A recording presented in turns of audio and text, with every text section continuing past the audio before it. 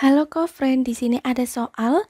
Diketahui luas permukaan kubus adalah 600 cm persegi. Panjang rusuk kubus tersebut adalah Mari kita kerjakan bersama ya friend. Perhatikan bahwa luas permukaan kubus rumusnya sama dengan 6 dikali rusuk dikali rusuk.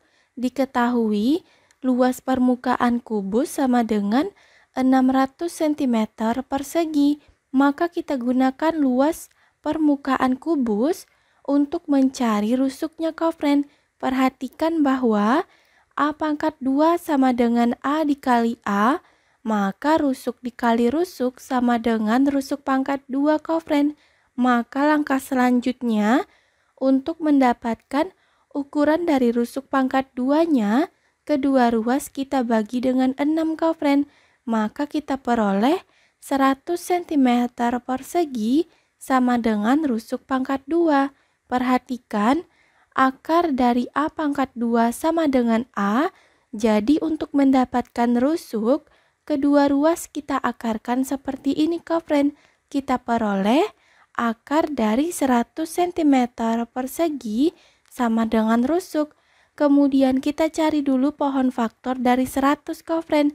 Caranya, kita bagi 100 dengan bilangan prima, yaitu bilangan yang lebih dari satu dan hanya habis dibagi oleh satu dan bilangan itu sendiri.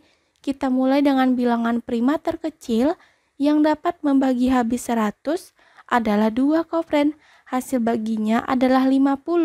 Kita lanjutkan sampai hasil baginya adalah bilangan prima juga.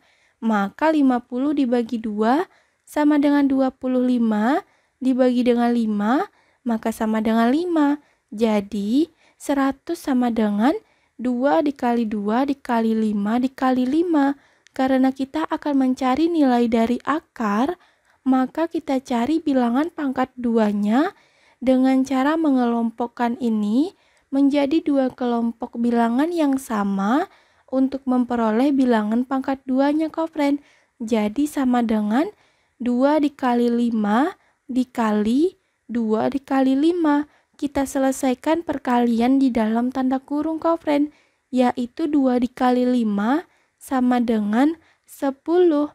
Maka 10 dikali 10 sama dengan 10 pangkat 2. Jadi jawaban kita akar dari 10 pangkat 2 cm persegi sama dengan rusuk.